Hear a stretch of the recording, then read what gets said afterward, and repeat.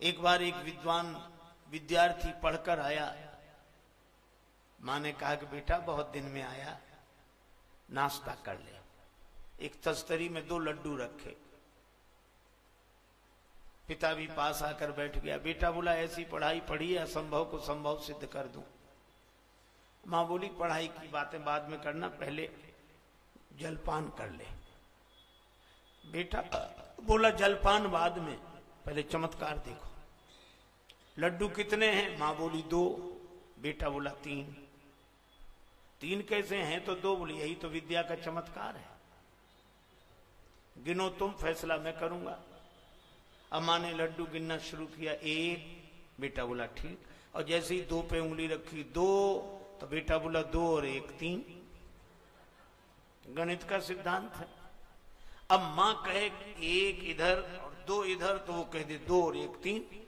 और इधर एक कहे, उधर दो कहे तो कह दे दो और एक तीन। अब माँ ने कहा कि बेटा, मैं तुमसे जीत तो नहीं सकती। मेरे पास कोई तार्किक सबूत भी नहीं है, लेकिन लड्डू दो ही हैं। बेटा बोला, ऐसे थोड़ी सिद्ध करो। विद्या का चमत्कार तो यही है, पर उसका पिता बैठा था पास में। वो भी तो उसी बालक का पिता था। और उसने कहा कि बेटा, तुम्हारी माँ बिना पढ़ी लिखी है। हमें साफ़ दिख रहा है कि लड्डू तीन है। हमने तुम्हारी बात मान ली, लड्डू तीन है।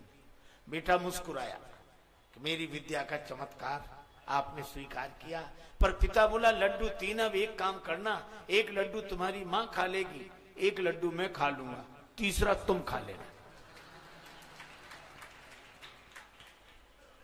तो मुझे यही समझ में नहीं आता कि इन इन तार्किकों के हाथ लगा क्या? नहीं लगा है। और इसीलिए इनकी बुद्धि परेशान है। और मैं कहता हूँ, अगर भक्ति की यात्रा करनी है तो श्री तुलसीदास जी कहते हैं, बिनु विश्वास भगति नहीं। बिना विश्वास के भक्ति नहीं। भगवान है, ये विश्वास हो।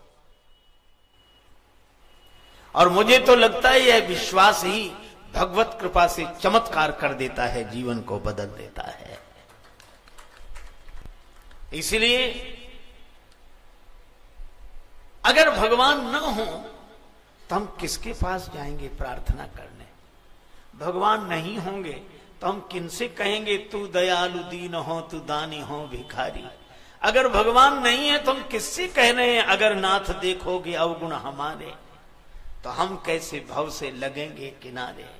इसीलिए मैं कहता हूँ कि हृदय विश्वास कर ले और विश्वास पूर्वक प्रार्थना आरंभ कर दे। तो प्रार्थना के माध्यम से भगवान अपनी कृपा का चमत्कार करके जीव के जीवन को धन्य कर देते हैं। इसलिए बहस नहीं, विश्वास। एक कवि ने कहा, इश्क वाले कर गए तय मंजिलें। आकिलों के रास्ते दुश्वार थे। एक आदमी गया गाँव में। उसका मित्र भी उसके साथ था। तो कहा, चलो गाँव घूम कर आए। तो एक जगह कोल्हू चलाने वाला आदमी बैठा अकेला। बैल अंदर घूम रहा है, वो बाहर बैठकर तेल बेच रहा है। और पिराई का काम शुरू है। तो उस तार्किक मित्र ने सोचा कि अकेला आदमी कैसे पूरा कार्य कर लेता है। अपनी पूरी दुकान चला रहा है। उसने कहा कि बैल को कोई हाँकने वाला नहीं, बैल कैसे चल रहा है? तो कहा कि हम जाके, उस आदमी ने कहा, हम उसे जाकर हाँक देते हैं और उसकी आँखों पर पट्टी बंधी है। वो समझता है हाँकने वाला पीछे ही है, इसलिए वो चल रहा है। उतार के बोला, ये तो कोई बात नहीं हुई, यह भी तो हो सकता है कि बैल चलते चलते रुक जाए तो तुम्हें कैसे पता लगेगा तुम तो बाहर बैठे हो? तो उसने कहा कि मैंने बैल के गले में घंटी बाँध रखी बैल चलते चलते रुकता है तो घंटी बजनी बंद हो जाती है। हम समझ जाते हैं, बैल ने चलना बंद कर दिया फिर जाके हाँक देते हैं। वो तो तार्किक था। वो बोला, ये तो ठीक है, लेकिन ऐसा भी तो हो सकता है कि बैल एक ही जगह खड़े, खड़ा गर्दन हिलाता रहे। बैल एक ही जगह खड़ा खड़ा गर्दन हिलाता रहे तो भी तो घंटी बजेगी। वो आदमी हाथ जोड़ के बोला, क्षमा करें साहब, वो बैल है, आपकी तरह तार्किक नहीं है। तार्किक की सबसे बड़ी विडंबना यही है कि वो एक ही जगह खड़ा खड़ा गर्दन हिलाता रहे। ये नहीं ये नहीं ये नहीं। और मुझे लगता है कि नेति नेति कहने वाले विचारक को अगर सदगुरु मिल जाए तो सदगुरु के वचन पर वह जब विश्वास करता है, तब ब्रह्मानुभूति होती है। लेकिन विश्वास करने वाले को विचार करने की आवश्यकता ही नहीं। उसका तो विश्वास है कि हमारे भगवान ये हैं। और जब भक्त को विश्वास होता है तो वह भगवान की ओर चल देता है। अपने लोगों को भी भगवान की ओर लेकर चलता है। श्री भरत जी को भरोसा है कि हमारे भगवान चित्रकूट में है। हमारे भगवान करुणा निधान है। हमारे भगवान कृपालु हैं। यद्यपि जन्म कुमातु मैं सठ सदा सदो लेकिन आपन जानी न त्यागी हैं। मोहे रघुवीर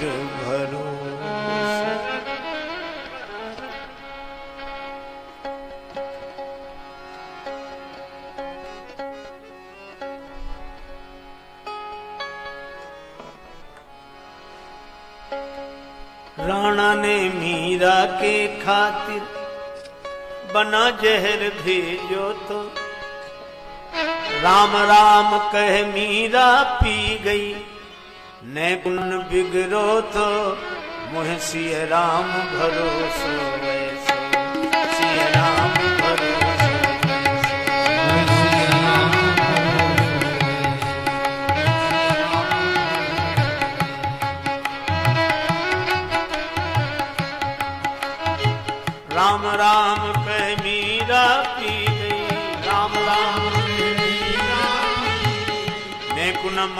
तो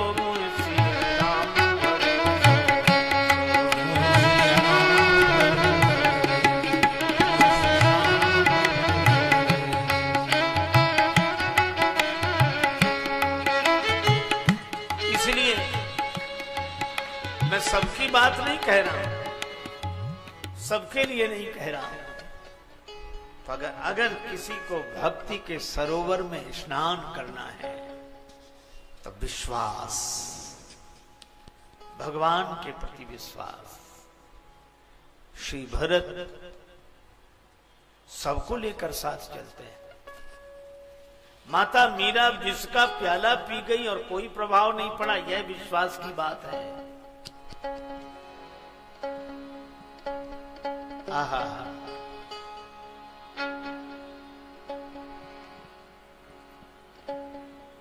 सबको लेकर श्री भरत चल रहे हैं। साधना भले ही अलग अलग हो, कोई ज्ञान निष्ठा से भी यात्रा करे, कोई योग निष्ठा से भी यात्रा करे, कोई धर्म निष्ठा से यात्रा करे, और कोई भक्ति भावना से यात्रा करे, और कोई राम नाम स्मरण करते हुए यात्रा करे। लेकिन एक बात तय है यात्रा जब चलती है तो चलती है। और यात्री को विश्राम कब मिलता है? जब उसको उसका लक्ष्य मिल जाए। और मुझे लगता है कि ज्ञान निष्ठा हो, चाहे योग निष्ठा हो, चाहे धर्म निष्ठा हो, चाहे भक्ति निष्ठा हो, चाहे नाम निष्ठा हो, इनको जब तक परमात्मा की प्राप्ति नहीं हो जाती, तब तक इन्हें विश्राम नहीं मिलता। क्योंकि चित्रकूट जाने वाले जब तक चित्रकूट नहीं पहुँच गए, तब तक विश्राम नहीं मिला। अभी तो हम यात्रा में हैं। राम राम करते हुए यात्रा में हैं। अच्छा देखो, मान लो कोई विद्यालय में भर्ती हो, हा? अच्छा वो बीए का इम्तहान दे रहा हो, बीए। बीए में भर्ती हो तो वो बीए हो गया? अभी नहीं हुआ है। लेकिन वो अपने को बीए कहेगा कि नहीं कि हम बीए में पढ़ रहे हैं। क्यों भाई? हमें ज़्यादा समझ नहीं है। आप अच्छी तरह समझते होंगे, बताएँगे। बीए में पढ़ने वाला ये कहेगा कि नहीं कि हम बीए में पढ़ रहे हैं? कहेगा? कि नहीं कहेगा? कहेगा अच्छा। तो क्या वो बीए हो गया है? जिस दिन परीक्षा देगा, परिणाम ठीक आएगा, तब वो बीए होगा। इसी तरह कोई साधु है, अभी शुरुआत हुई है, विद्यालय में भर्ती हुआ है, और वो कहे कि हम साधु हो गए। तो कह तो सकता है, क्योंकि प्रवेश तो हो ही गया है। लेकिन क्या प्रवेश को ही पूर्णता मान लेनी चाहिए? और जो प्रवेश को ही पूर्णता मान लेते हैं, वे परेशानी में पड़ते हैं। ये याद बनी रहे कि अभी तो हमारा प्रवेश है। अभी तो हमने यात्रा शुरू की है। अभी तो नाम लेना शुरू किया है। अभी तो भगवान की ओर बढ़ रहे हैं। इस भाव से जो बढ़ते हैं, उन्हें लक्ष्य की प्राप्ति होती है। और जो प्रथम पड़ाव पर ही पूर्णता मानकर ठहर जाते हैं, उन्हें कभी विश्राम की प्राप्ति नहीं होती। हाथी पर बैठकर जाने वाले ज्ञानी हैं, पर ये चलें, कहाँ से चलें? श्री अवध से। और अवध क्या है?